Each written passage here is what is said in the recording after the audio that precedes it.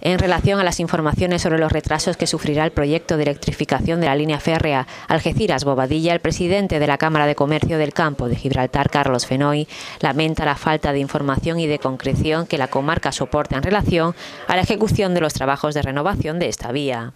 La reforma en la que se produce este anuncio en respuesta a preguntas dirigidas al presidente de Red Eléctrica en un foro deja claro la falta de información que se está recibiendo en esta comarca, según lamenta Carlos Fenoy. El presidente de la Cámara de Comercio se ha referido a las diversas reuniones en Madrid y fundamentalmente a la más reciente celebrada en mayo de este año, en la que se adquirió el compromiso por parte del Ministerio de Fomento de mantener reuniones periódicas con representantes socioeconómicos y empresas de la comarca que permitiesen analizar y realizar un seguimiento exhaustivo de la situación técnica del proyecto en cada uno de los subtramos y fases pendientes de ejecución de esta conexión ferroviaria. Hemos venido reclamando, dice Carlos Fenoy, mayor dotación presupuestaria para estos trabajos, pero también una planificación realista y adecuada al horizonte de finalización de la obra con el que se está trabajando en el marco de la Unión Europea. Este último anuncio es una mala noticia para la comarca y nos aleja un poco más de cumplir el objetivo marcado del 2020 para concluir una obra fundamental para el puerto de Algeciras